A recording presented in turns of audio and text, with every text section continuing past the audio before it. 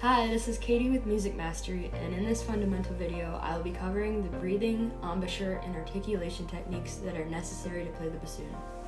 So first of all, let's talk about breathing. You should be pretty good at breathing by now, but um, breathing to play the bassoon or any other wind instrument is going to be slightly different and is going to take a little bit more consideration. Um, posture is going to be very important when it comes to breathing and getting a full proper breath. So I encourage you to check out the video about posture if you haven't seen it already. So we're gonna sit with our back straight but natural, our feet flat on the floor. The way you want to breathe when you play bassoon is kind of like yawning. Um, when you yawn, your mouth makes kind of like an O shape, and when you inhale, the air is going to expand to this low spot at your stomach. And that's what we want when we play bassoon. You don't want to be breathing upwards where you see your shoulders raising if you look in the mirror, because that is going to give you more of a shallow breath. You can ensure that you're getting a deep, full breath from your stomach muscles by placing one hand on your stomach and taking the breath in. When you inhale, you should see this hand sort of move outwards as your stomach expands, and then when you exhale, it will go back in like this.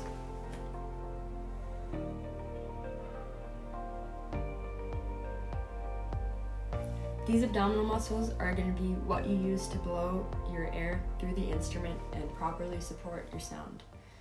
Um, you don't have to blow too hard when you're playing the bassoon, you just want to make sure that you can feel these muscles engaged and basically almost flexed as you blow. Next, I want to talk about a good bassoon embouchure. So, unlike a single reed embouchure, the bassoon embouchure requires both your top and your bottom lips to be covering your teeth basically acting as a cushion for the reed. Um, you also want to think about your lips as being similar to a drawstring bag.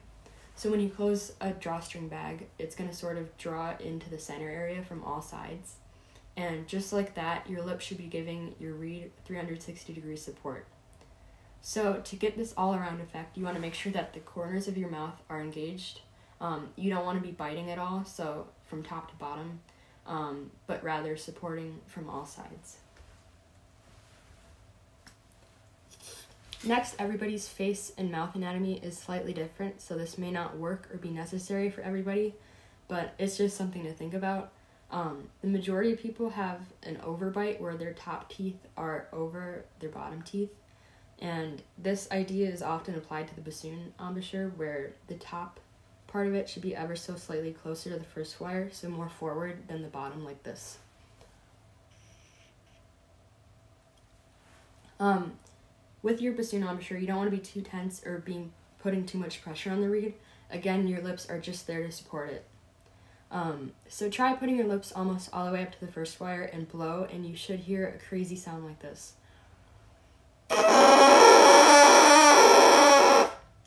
This is called a crow, and it should have a variety of pitches in it and sound kind of crunchy.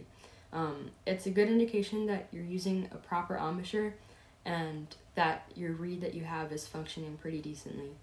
Um, you don't want the crow to be a single pitch, whether it's too low from lack of air embouchure support, like this, or too high and whiny from a too firm embouchure, like this.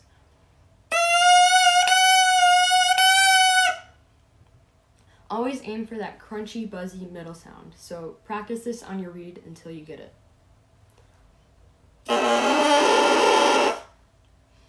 Okay, so now let's switch gears and discuss articulation. Articulation refers to the start of the note and involves your tongue. There's three steps to articulating.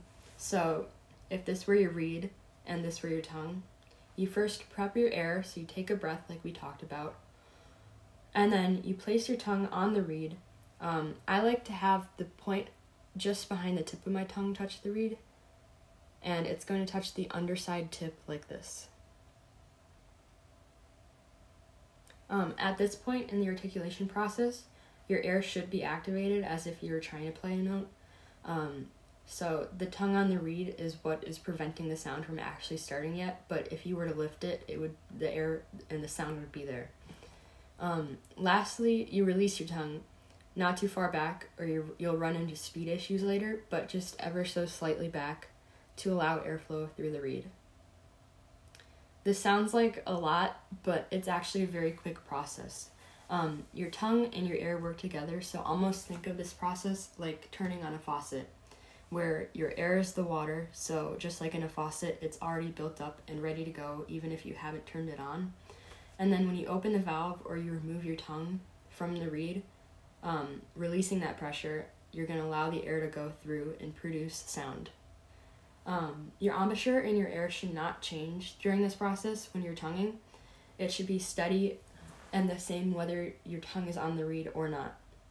When you pull your tongue off the reed, the sound should begin immediately. So, first, you should try this on just your reed.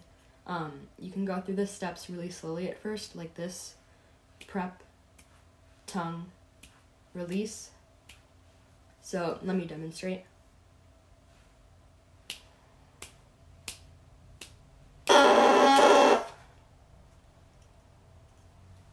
Also, um, when you articulate multiple notes in a row, um, you're not going to need that first step where you're prepping air because you're already going to have air on reserve from your initial breath.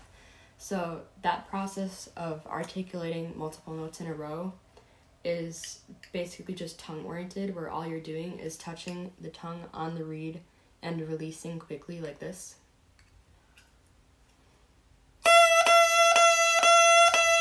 My embouchure is not moving at all. So when you feel comfortable articulating on the reed, you can move to trying it on the reed and the bocal. Um, so you're going to have a slightly different feel.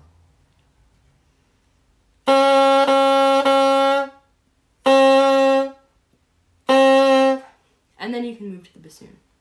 Ultimately, the more you practice, the faster you're going to get at um, being able to execute the articulation process, and the less you're going to have to think about it. That's it for this video. If you're enjoying these videos, make sure to encourage other members of your band or ensemble to join musicmastery.band so that everybody can master their parts. Remember, you get three requests per month as a member, so keep practicing, and we look forward to helping you master your next piece of music.